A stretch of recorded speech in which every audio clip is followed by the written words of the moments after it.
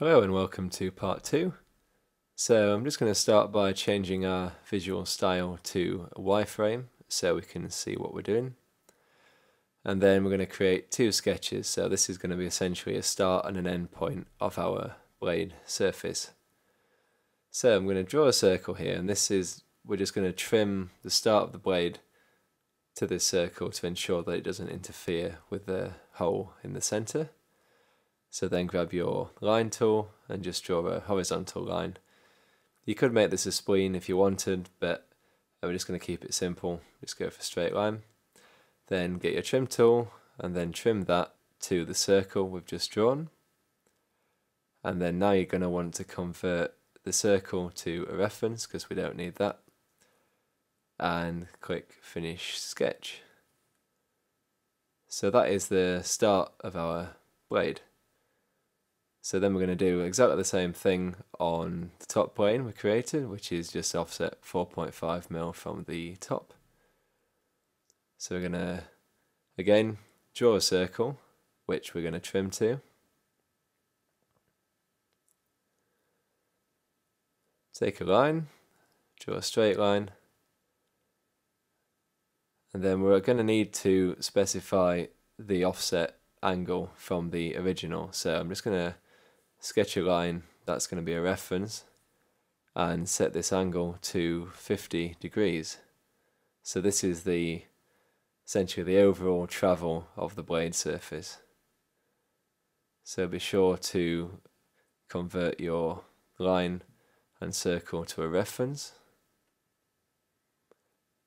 and then trim the line we want to work with to the circle we created. And finish sketch.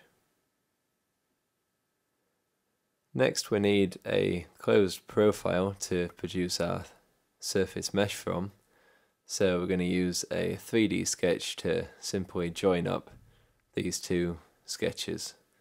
So choose 3D sketch and then choose spline and then select the start point for both of the lines of the two sketches. Now we only need two points for this one because this is not going to be seen in the model, so they simply need to be joined. However, the outer edge is the profile that you'd want the outer to follow. So in this case I'm going to use a three point spline. So with this you can then have options to uh, play with the shape a bit more. So as you can see I can drag drag this around and just make that so you've got the profile you want and then click finish sketch.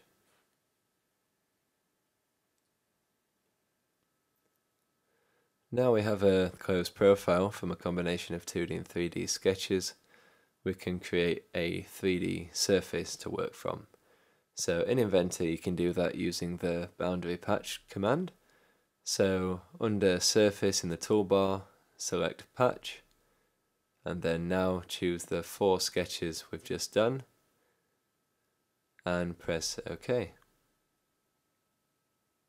So this has generated a 3D surface from us that we can now need to make into a solid body. So then go to thicken slash offset in the modify area of the toolbar, select the 3D surface and make sure the direction is set to both ways from the center and make the thick, overall thickness of about 0.8 millimeters. Hit OK and as you can see we now have our solid body. So I'm just going to set the view back to solid with edges so we can see where we're at and then all there is to do now is to pattern this around 360 degrees and a total of six times. So select the circular pattern command, choose the body we've just created from the thicken tool, select the center axis we're rotating around, you can see the count of six is set, then when that's all done press OK. And it might take a short while to compute but we should now have something that starts to look a little bit like what we're going for. So now we have that, we essentially just need to repeat the process for the secondary vanes. The leading edge of the secondary vane starts a little bit lower than the primaries, so we're going to create a new offset plane, and that's going to be 10 millimeters from the top surface. And then we're just going to do exactly the same thing, create a start and end point for our surface, and then thicken and pattern around. So I'm going to go through this a little bit quicker. Again, draw a circle, draw the starting point, and this line is going to be at an angle of 30 degrees from the horizontal, which is essentially a 30 degrees offset from the primary blades. And again, trim and make your construction lines reference. Finish sketch. And now we're going to create a sketch on the new plane we've created at 10 millimeters. Sketch a circle. I'm going to make the offset of this one 60 degrees from the horizontal. Trim and convert to reference. And finish sketch as before, we then need two 3D sketches to join these two lines. So a two point spline for the centre again, and then a three point spline for the outer edge.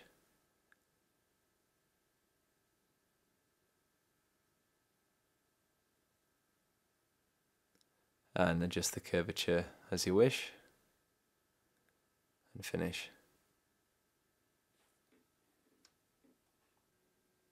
After that, create a boundary patch to create your 3D surface and then thicken again 0.8 millimeters in both dimensions and then pattern that solid body around the center line.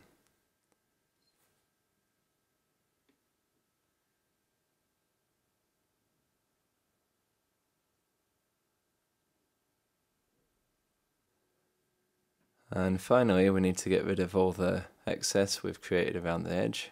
So we're going to do that by revolving a cut, essentially. So choose your center plane. Uh, you can do this from the feature tree to save save time again from the origin. And then create a 2D sketch on this plane. Then we're going to sketch one more profile. So using the line command, we're going to sketch from the outer diameter of the main body and make that about 7 millimeters high. And then we're going to need an endpoint for the radius we're going to create. So this is dimension in this case at 24 millimeters from the center.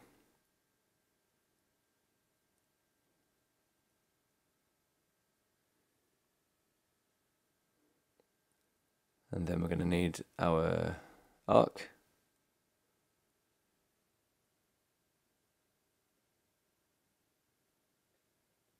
Set that to 15. Then just need one constraint here, which is a tangential constraint. That's going to tidy everything up like so. Then in order to revolve a profile, it always has to be closed. So just join up the sketch on the outside here and finish sketch. So go to revolve and set the boolean as subtract and that's it, we're done. So you can just go ahead and hide all the construction stuff we've used along the way and just a bit of tidying up now you can go around and add a few chamfers and and radii. I went around and did all the leading edges of the blades, just added a simple fillet.